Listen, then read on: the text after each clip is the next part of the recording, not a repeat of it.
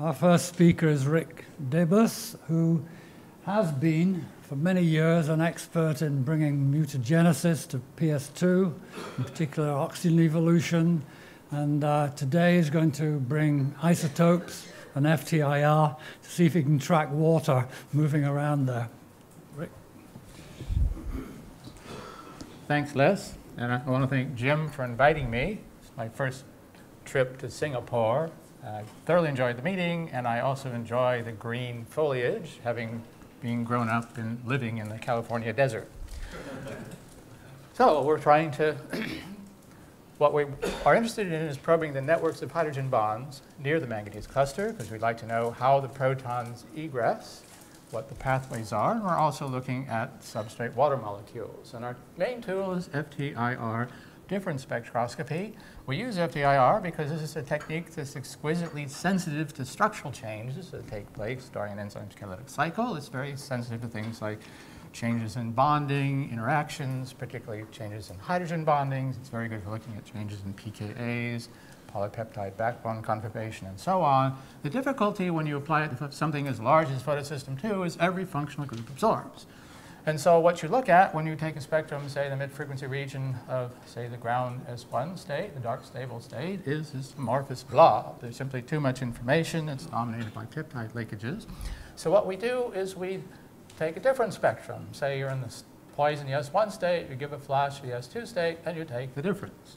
If it's done right, every functional group that doesn't change cancels out, and what you are left with are specific changes. These blue peaks show um, where functional groups were absorbing in the S1 state, and the red where they moved to in the S2 state. And these are extremely small changes. This is 10 to the minus 4 OD units on top of absorption of 1, and those are like the largest signals we look at. We're actually looking at things down almost 5 times 10 to the minus 6 now. So very small signals. And we also look at, if you take the difference without a flash, that gives us an estimate of the of the background. Now, what we do in preparing samples is something Takumi Noguchi worked out back in 2002. And the problem we have is in the mid-frequency region right through here and in the high frequency region there is you have excess water have very strong absorption. So what we do is we partly dry the samples onto, say, calcium chloride or barium fluoride window, but then we rehydrate under very controlled conditions by spotting around the sample in a sealed cell, droplets, say 20% glycerol or 40% glycerol, because 20% glycerol will give you an atmosphere of 99% relative humidity. 95% uh, or 40% glycerol gives you 95% relative humidity, and this cuts down dramatically the excess water peak, so you can put more sample on the window. If you have relative humidity of 95% or more, you can cycle through the S state cycle here. You can flash and you see the different spectrum. This technique also gives us a very simple way of isotopically labeling weakly bound water, i.e. water molecules in the hydrogen bond networks. We can replace it with D2O or O18 water and so on, simply put, by putting droplets of isotopically labeled water here. Now, the peaks here, um, you see many of these peaks uh, oscillate period of four. Again, this is first seen by Takumi Noguchi. Um, when we first started this work back about 25 years ago, we thought that these peaks would all be coming from the ligands. And in fact, the first work uh, we did in my own laboratory was to identify the C terminus of the D1 polypeptide uh, alanine 344. We could see the functional, the actual uh, symmetric carboxylate vibrations of that carboxylate by labeling samples with C13 alanine. And so we thought, oh, great, that's super. We can see those peaks. Now we should be able to see the peaks uh, corresponding to, say, uh, D170 or Glu 89 and so on. But what we found, much to our surprise, is four of the carboxylate ligands of the manganese cluster, now that we you know, have structure, don't have cause any change in the spectrum. This is quite a shock, and let me show you an example of that. So this is aspartate 170 changed to histidine, and there are no main changes at all, despite the fact that in the structures now, aspartate 170 but bridges between manganese and calcium. And in fact, two years ago, Takumi Noguchi published a QMMM analysis and predicted that, in fact, all these peaks would be coming from the ligands and said that, in fact, the symmetric carboxylate stretching mode of D170 would be around 1400 in the S1 state and um, up here in the S2 state. Well, we don't see that. Um, in fact, we don't see it for any of these. And, that, and, and, and it actually gets more interesting than that because you have this bridging carboxylate group, you change it to histidine, half the centers assemble clusters, but they seem to be perfectly normal in all the assays we do, whether it be pulse EPR or FTIR, with an exception I'll show you in a minute. Glutamate 189, it's a ligand. But if you put lysine or arginine there, or glutamine, we worked with Yuheng Yunga on this uh, about 20 years ago and found, despite the fact you change glutamate to lysine or arginine, the electron transfer rates the reduction of the manganese cluster and YZ dot are effectively unchanged. So um, that's all weird. Um, and so I've often asked, are you sure you're looking at mutants? Um, and so I answer that this way. First, we grow 21 liters of cells for every prep, and we take 50 mils of those cells and harvest the DNA and sequence it to be sure it's the right mutant. There have been a couple times we found we purified the wrong mutant. Um, so it's the right mutant. It hasn't um, uh, reverted. So yes, but also there are changes. For example, aspartate 1,7, they said there's no change in the mid-frequency region, but if you look at the low-frequency region, there's a peak at 606 wave numbers. That was first observed by uh, Babcock and Chu back uh, in the late 1990s, which is coming from a, a manganese oxygen manganese part of the manganese cluster, and it shifts in this mutant. So mutation does actually have some spectroscopic signature, and that's also true for E189Q. Ono found the same mode is shifted in E189Q. And also, if you look at the rate of oxygen, the light side rate of oxygen of the mutant cells, mutations D69N, D342N rather, E333Q, they're highly perturbed. So I'd say yes, we have the mutants. And in fact, the, the, what we see, this forest of peaks that are you see in the FTIR spectrum are not coming from the ligands, they're coming from outside, because when we make mutations in the second coordination shell, some of these are shown here, there are many others, you see lots of changes in the spectrum. Okay? And so some of these are actually far more perturbed than mutations of the ligands we've been looking at, say D61 or this mutation down here, the saturation rate's only about 20%. Now, when making these mutations, and we have more than are shown here, we see some of the very same spectral changes. So let me just show some of them. So in this region is where you have the overlapping amide2 asymmetric carboxylate stretching region. If you see this little peak right there, that is a asymmetric carboxylate stretch. We know that from isotopic labeling, and that's diminished. It's diminished in many mutants. Uh, if you look at these features here, this negative peak of 1544, and you have this uh, derivative shape there, they're diminished or eliminated in many mutants. Uh, this peak right there is a mixture of amide2 and asymmetric carboxylate. It's diminished. Incidentally, this doesn't look very focused. Is there some way of focusing the projector? Um, and there are changes in the asymmetric in the symmetric carboxylate stretching mode here and there and there. Here's another mutant, which again shows some of the very similar changes. So we see many of the same changes and mutations made all over this region, and so we think that, in fact, what we're seeing in the S2 minus S1 spectrum is a response of the protein environment to the charge that develops on the manganese cluster during the S1 to S2 transition. And what we're seeing is these amino acid residues are all coupled in the hydrogen bonding network. So if you start making mutations in that network, you see some of the same changes, despite the fact you make a mutation you know, 10 angstroms apart. Okay, well, let me focus on a particular vibrational frequency, and I'm going to show by example glutamate 329. We made the 329 glutamine mutation about 20 years ago. It had no effect on oxygen rate, so we put the, put the mutation in the freezer forgot about it for about 20 years uh, until we realized that the functional groups uh, mutations out here are what causing changes in the spectrum. When we look at the spectrum of that mutant, nothing changes except right there. This negative peak in the wild type is vanished. and also in the S3 minus S2 spectrum, this is where you see carbonyl stretches. And in fact, if you look at the peak in the wild type, in the S1 to S2 transition, the wild type you see a negative peak. It shifts four wave numbers in D2O. In the S3 minus S2 spectrum, you have a positive peak, which is about a one or two wave number shifted from the earlier spectrum. It shifted seven wave numbers, and so on. Well, that D2O induced shift shows that these features are from a protonated carboxylate group. And the fact that this is negative means during the S1 to S2 transition, a carboxylate group's pKa value decreases in response to the charge building up in the cluster. And there's another carboxylate group whose pKa increases in response to the structural changes during the S2 to S3 transition. These reverse during the S3 minus S2 transition because this is a much larger feature than that one. You see only uh, basically this reversed here. There seems to be another carboxylate whose environment shifts or changes during the S0 to S1 transition.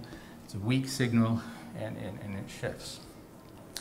The interesting thing is this peak didn't just disappear in this E329Q mutant, it disappeared in a large number of mutants, or it's diminished in others. It's also diminished if you over dehydrate the sample. In other words, you, you dehydrate it and you don't put water back in, it's gone as well. And so here shows many of the residues, there's more of them, where this peak is eliminated in blue or diminished in red. So because so many of mutations cause the same functional group to the same mode to disappear from the spectrum, the way we explain it is this. We say that there's a, there's a carboxylate group somewhere, we're not sure which one it is, that senses the charge buildup on the cluster during the S1 to S2 transition, and its pKa decreases.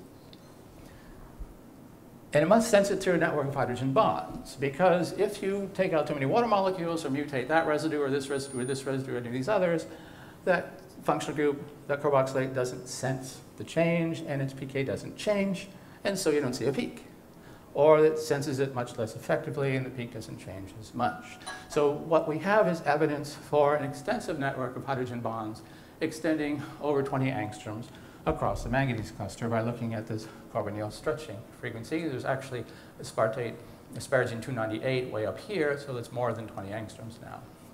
If you look at the positive feature in the S3 minus S2 spectrum. We see other functional, other residues, other mutations, uh, eliminates or, uh, or, perturbs that mode as well. And so again, this evidence for extensive networks of hydrogen bonds around the manganese cluster, as you'd expect looking at the, in the structures.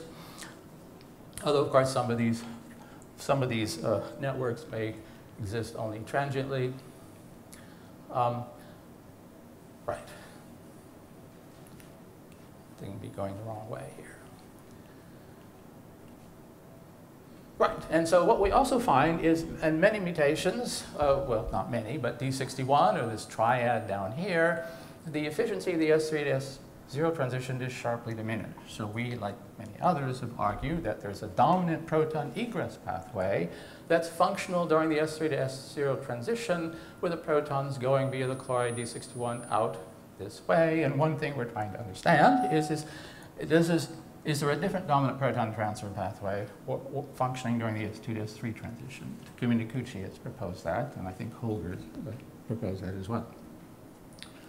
All right, well, let me focus now on something more recent we've been doing, and that is looking at water molecules directly. We can look at the weakly bonded OH stretching modes of water molecules. These are water molecules hydrogen bonded to amino acids or the chloride, or strongly hydrogen bonded water molecules. This is from a review of Noguchi. Uh, so you see features of weakly bonded OH stretching modes here, water, strongly stretching modes give you these strong features. Let me focus here on the weekly hydrogen bonded OH stretching modes. This is what you see in Synechocystis, and what you see um, are mostly negative features negative feature there. Now, are these water? Yes, because they shift about 950 wave numbers in D2O, and they shift 10 or 12 wave numbers in O18 water, and they shift further if you have O18 D2O. You notice the peaks are almost all negative. What we believe that means is that we have water molecules whose weak hydrogen bonding becomes stronger during the S-state transitions, and then the modes shift over to under bulk water when we can't see them.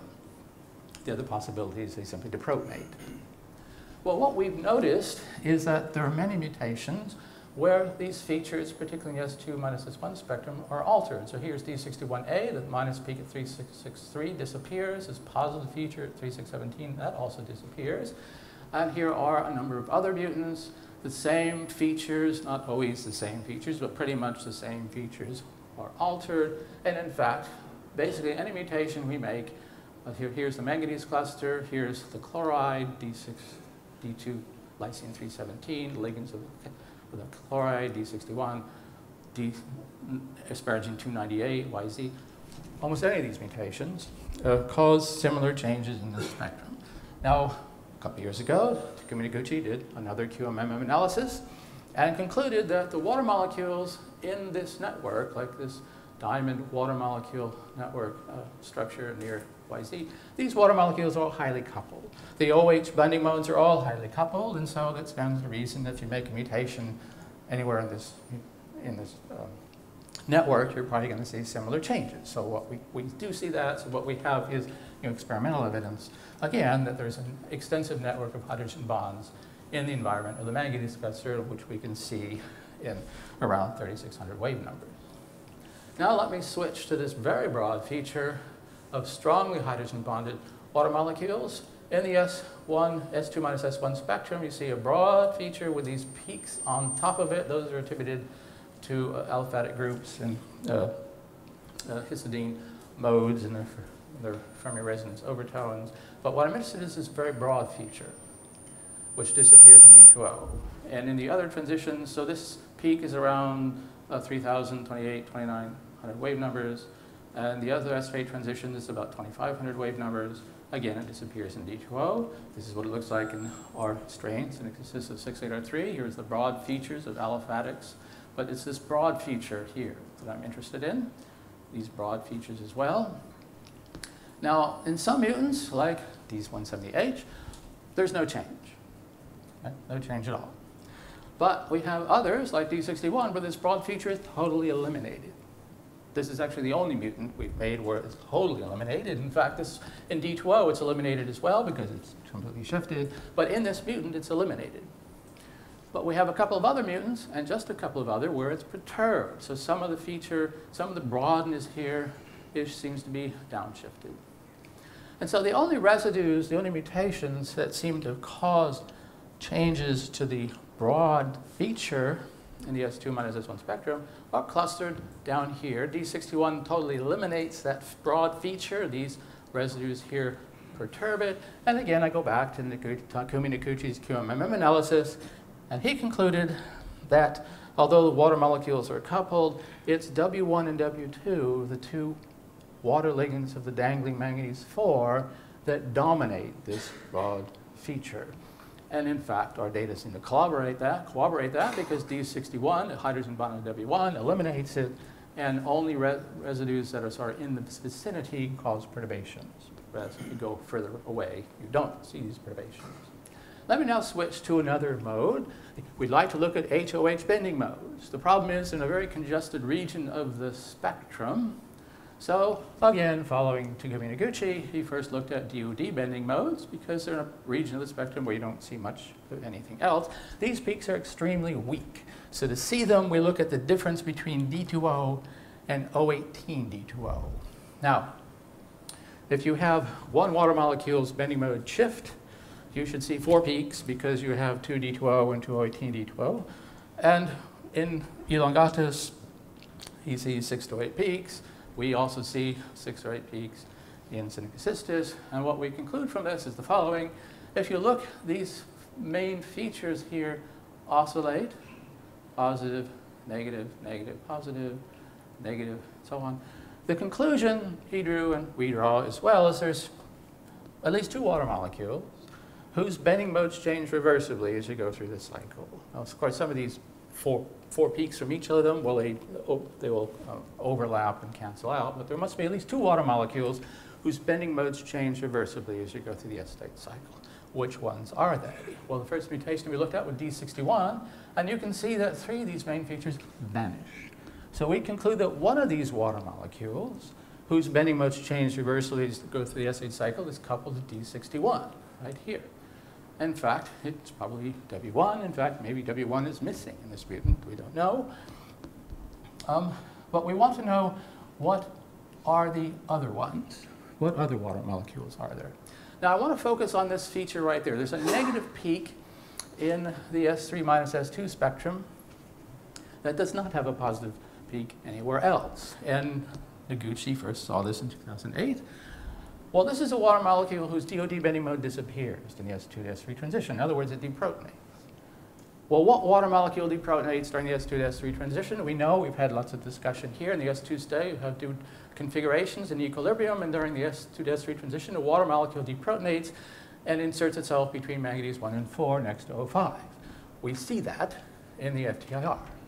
This peak right there. Now, which one is it?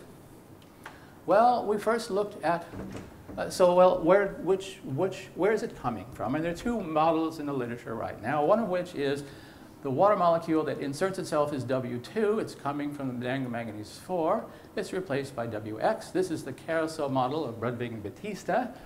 Uh, as you heard, some of us favor the pivot model from the Mülheim group, where we go through a trigonal bipyramidal intermediate is, rather than have an extra water molecule bound. But whether you like the pivot model or the carousel model, the same thing happens. W2 moves and inserts itself and is replaced by WX, which is hydrogen bond O4.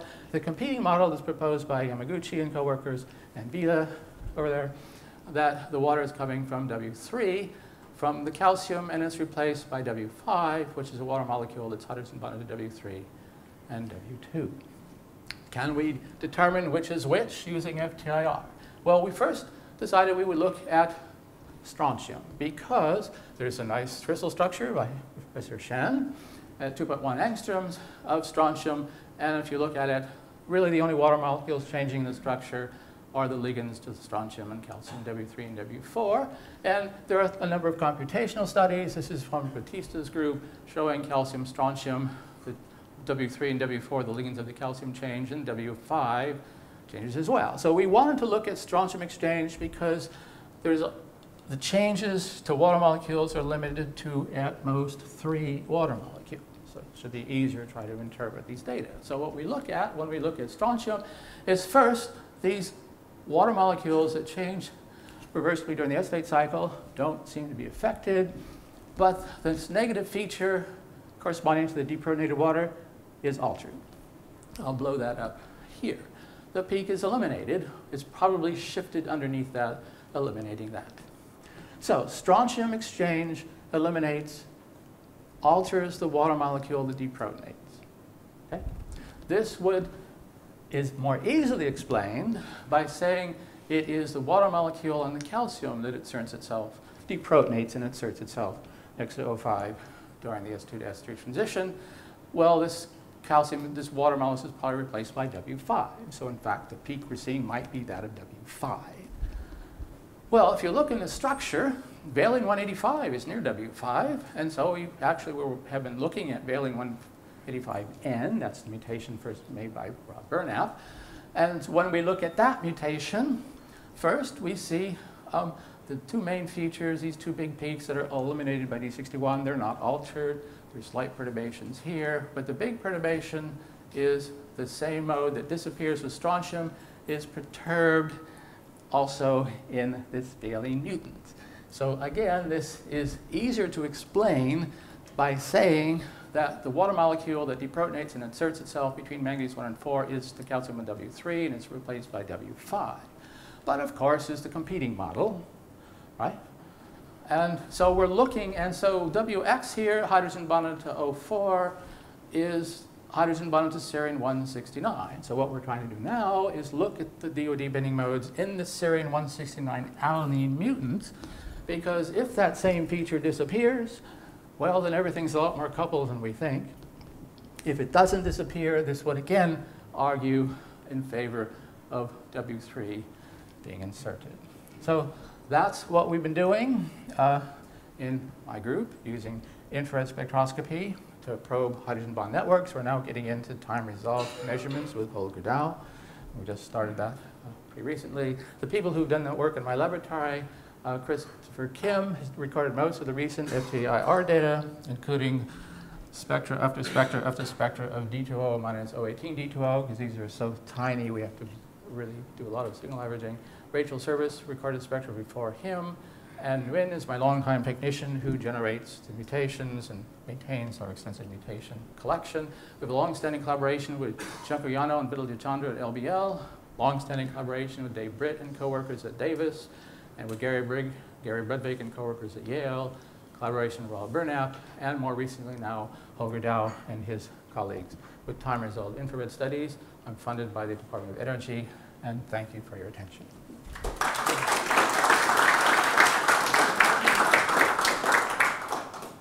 are there any questions? Jim? no, I keep asking the questions. Uh, Rick, as we move through the S-state cycle and you come to S3, uh, this is uh, now accumulated a lot of charge. The high valency states become extremely oxidizing, and even a positive charge because at one place we've not taken an electron and not a proton. So this is uh, now you would expect any um, mobile water molecules, for example, to respond to that new Coulombic environment. Yeah, you would, it would be unreasonable not to think there will be movements of things around when you go from all the way from S1 to S3. Um, uh, would you agree with that? And two, uh, uh, that if we're going to use XFEL to try to understand the actual pathway of OO bond formation, we will have to deal with that background noise of things moving around because of Coulombic changes in that cluster. What do you, what do you say about that? Uh, well, first I'd say that clearly there's a charge that develops on the cluster during the S1 to S2 transition. And that surely is the reason behind this forest of peaks we see. Because we don't, it's not the ligands. I'm sorry, I have to disagree with Noguchi on the, his QMM analysis Yes. because we don't see that. And so it's that coulombic change, that charge that's, that charge which we think is causing all this forest of peaks during the S1 to S2 transition. Some of which, of course, isn't just by coulombic, but affecting via hydrogen bonding as well. In the S2 to S3 transition, there's a deprotonation event, so there's no charge that builds up on the cluster. So presumably this forest of peak we're seeing there has to do more with the structural perturbations that take place during the S2 to S3 transition. Let me go to S3. Well, that's the S2 to S3. Yeah, but what the point was, there's going to be quite a lot of perturbations in the structure because of this charge build-up. Must be, mustn't there? Uh, Well, there's a deprotonation event so that there isn't a charge buildup on the cluster. You might, might- so the, the charge built up is S1 to very, Very S2. oxidizing. Yes, but there isn't charge built up on the No, cluster. it's a- no, no, no, because there's been, of course, we've got, only got the one charge The deprotonation uh, takes place. Okay, all right. Okay, so can I come back to your very nice data on the protonated carboxylic acid region? Um, uh, two questions really. One, because, because there's signals of a protonated carboxylic acid, can you identify from PK predictions which protonate, which amino acid it should be? Because you must have a fairly limited number with a predicted very high PK.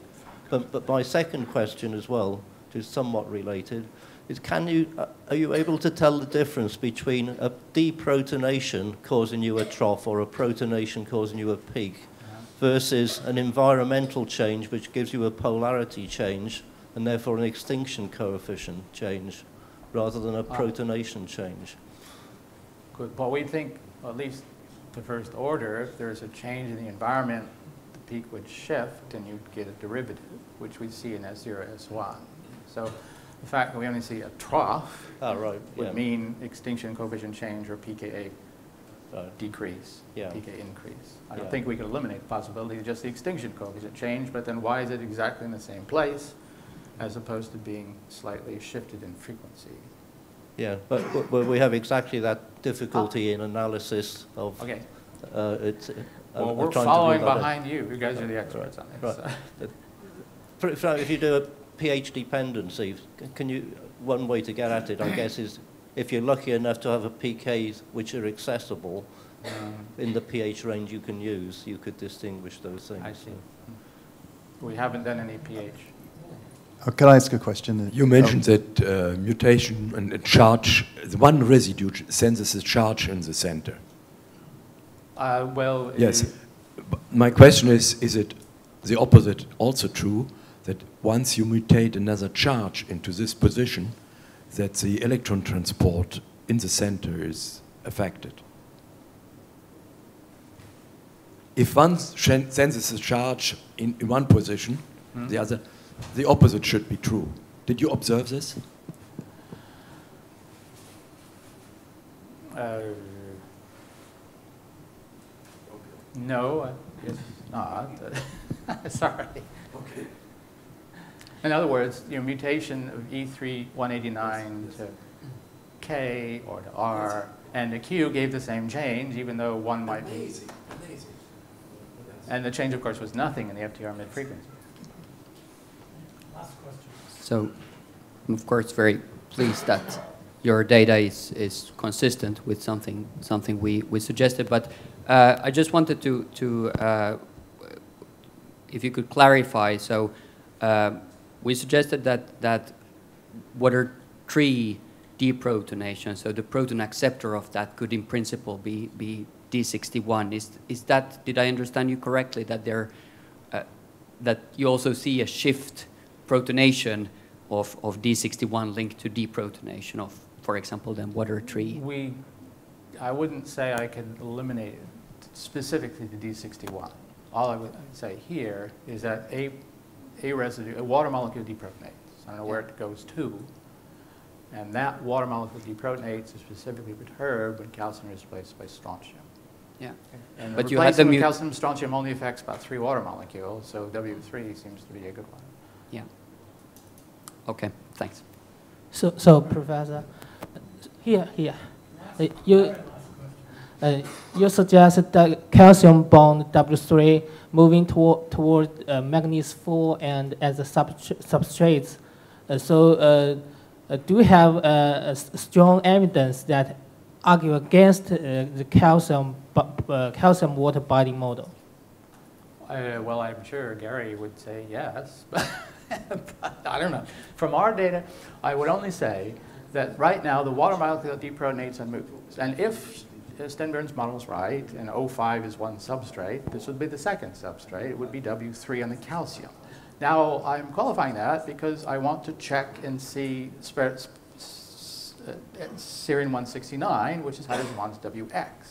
Because if that also affects the change, then we really can't make a statement. But if it doesn't, then we would argue that we, right now we have evidence that it's W3. The question is, if we now do the test of WX, would that support the W2 model? Do you understand what I, what, what I mean by that? So right now our evidence is in favor of W3. To say if that's the substrate W3 from the calcium ion. That's the easiest way of explaining the data we have. The question is, what happens when we look at WX, or which would be testing the, the opposite model.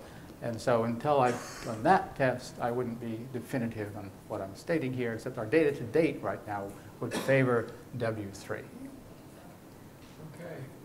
Rick, beautiful work.